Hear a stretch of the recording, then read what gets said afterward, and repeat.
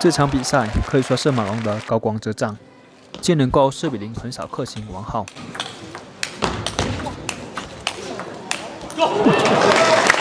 这是2011年的瑞典公开赛，由蓝系服的王浩迎战红系服的马龙。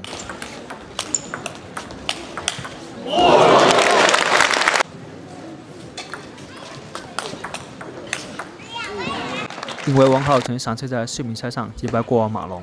所以很多人都说王浩是马龙的克星。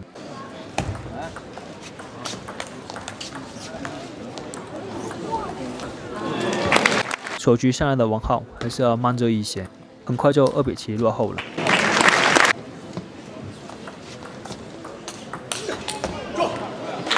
马龙加强了对正手位的保护，一个早有准备的反拿直线拿下这一分。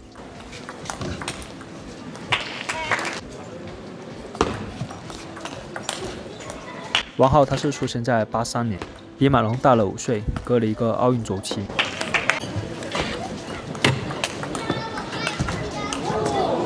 马龙以十一比七率先拿下了首局。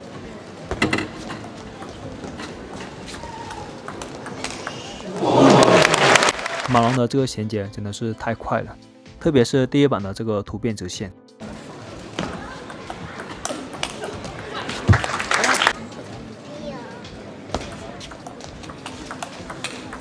这个时候的马龙虽然已经是队内的主力选手，但没有获得过三大赛的单打冠军。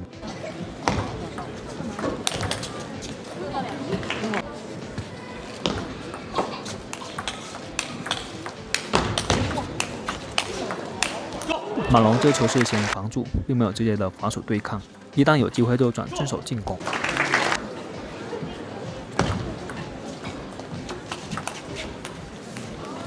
马龙现在是第二局九比三领先。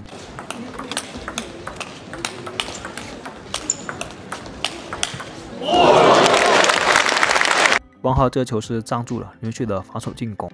一旦马龙的侧身正手出不了质量，正手空档就很容易被王浩针对。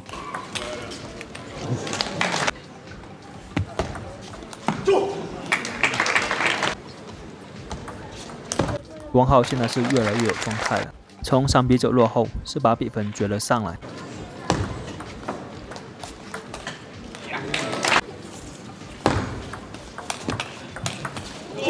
在防守的一个直接对抗中，王浩的这把横打还是有优势的。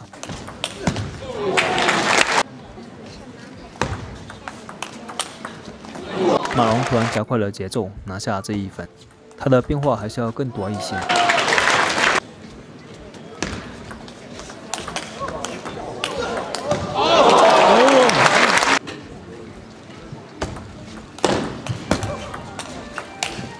在这种大路球的对抗中，马龙的衔接步伐优势就体现了出来。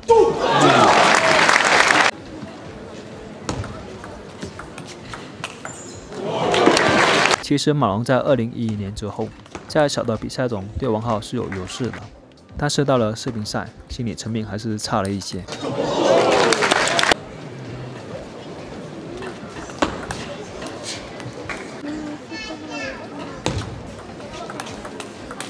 这两个球都是王浩的防守得分，他的防守相对于马龙单板质量要更高一些。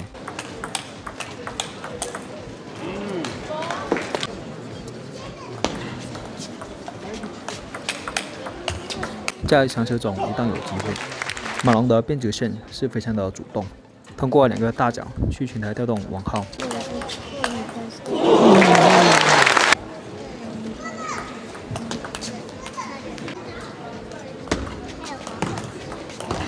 对这场比赛，你有什么看法呢？欢迎在视频下方留下你的评论。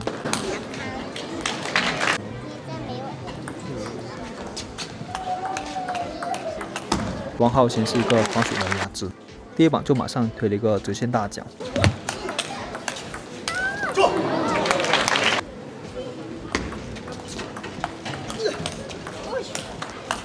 王浩现在脚下步伐还是有些沉重，迈不开。